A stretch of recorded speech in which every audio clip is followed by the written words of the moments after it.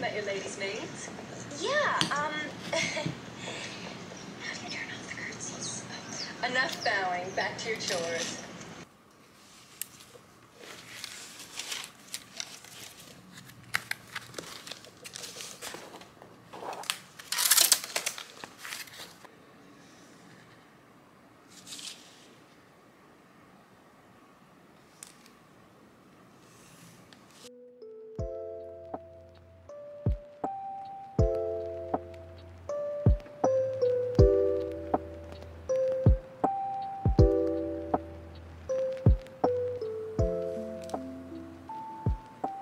you